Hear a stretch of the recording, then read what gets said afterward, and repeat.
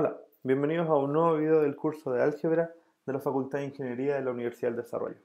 En este video vamos a resolver un problema de progresiones que dice Encuentre tres números en progresión geométrica cuya suma es 38 y cuyo producto es 1728.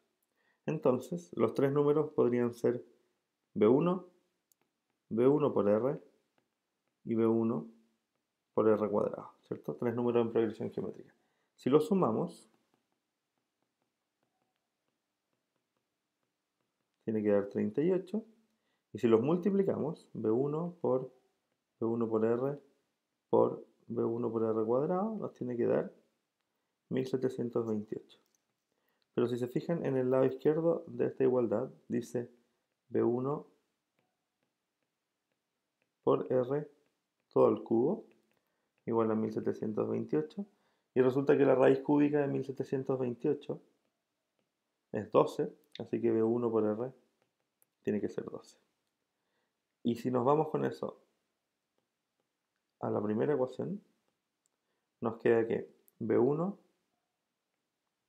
más 12 más B1 por R cuadrado es 38, pero en realidad esto se puede escribir mucho mejor porque de aquí podemos sacar que B1 es 12 partido por R y por lo tanto tenemos aquí 12 partido por R más 12 más 12 partido por R por R cuadrado igual 38 que es exactamente lo mismo que escribir 12 partido por R más 12 más 12R igual a 38 ya, para resolver esta ecuación vamos a hacer lo siguiente. Primero vamos a restar 12 en ambos lados y nos queda 12 partido por R más 12 por R igual a 26. Y segundo, vamos a multiplicar por R dividido en 2. Entonces esto me queda 6 más 6R cuadrado igual a 13R. O equivalentemente, 6R cuadrado menos 13R más 6 igual 0. Y lo que tenemos ahí es una ecuación cuadrática para el parámetro r. Entonces, usando la fórmula, tenemos que r es igual a 13 más menos la raíz de 13 al cuadrado, menos 4 veces a por c, 6 por 6, dividido en 2 veces a. Y por lo tanto, r es igual a 13 más menos raíz de 169 menos 4 por 36 que es 144 dividido en 12. Entonces, R es igual a 13 más menos raíz de 25, pero raíz de 25 es 5, partido por 12. Si sumamos, 13 más 5 es 18, 18 dividido en 12 es lo mismo que 6 dividido en 4, que es lo mismo que 3 medios.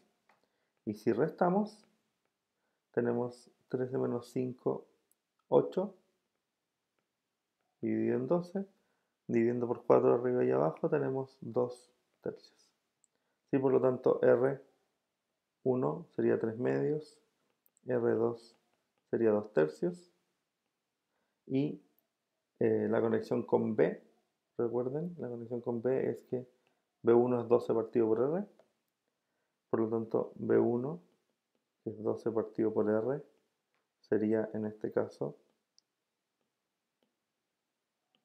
B1, 12 dividido en 3 medios, y eso es lo mismo que 24 dividido en 3, que es 8. Y en este caso B1 sería 12 dividido en 2 tercios, que es lo mismo que 36 medios, que es 18. Y por lo tanto, los tres números se obtienen de hacer las multiplicaciones por R, ¿cierto? B1 es 8, B2 es 8 por 3 medios, que es lo mismo que 12, y ya sabíamos eso, ¿cierto? Y B3 es 12 por 3 medios, o sea 6 por 3, 18. Y aquí van a quedar los mismos números, pero en el otro orden, ¿cierto? 12 y 8. B2, B3. Muy bien, eso es todo y nos vemos en un próximo video del curso de álgebra. Hasta entonces, que tengan un muy buen día.